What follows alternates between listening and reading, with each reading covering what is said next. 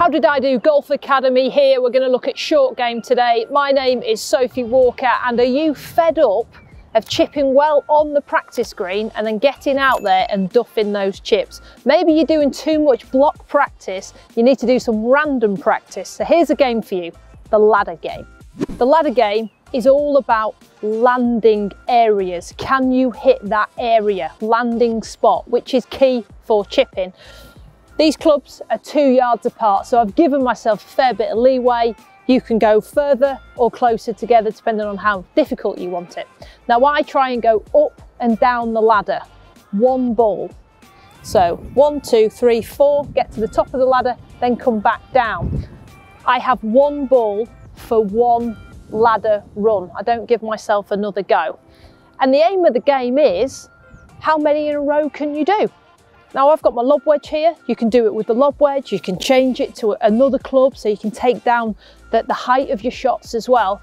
But really it's that feeling of having to pull off a shot when it counts, using it as a game. Maybe mark down the scores. So when you go on the course, you get used to marking down scores, only having one ball to use. And it's great for transferring practice to on the course.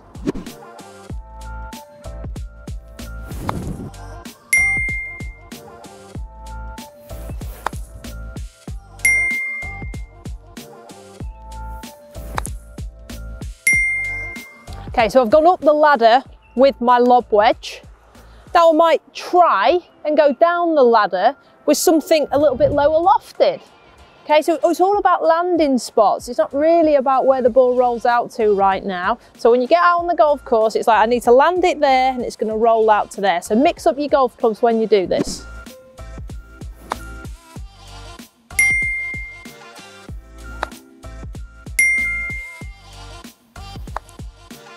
Ooh, nearly completed it.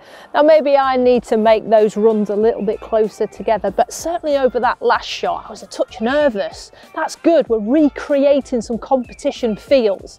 So give this ladder game a go, change your clubs, go up and down the ladder, get that game environment. It's gonna work your landing spots but also on your nerves and then you can move that onto the golf course. Having a game environment in your practice is key to getting better. So either do this ladder drill by yourself or grab a friend and play a bit of match play against each other. Thank you so much for watching these videos. Please make sure you like, you comment and subscribe. What more do you want to see from the How Did I Do Academy? I've been Sophie Walker. Thank you to Prestbury Golf Club for having us and we'll see you again soon.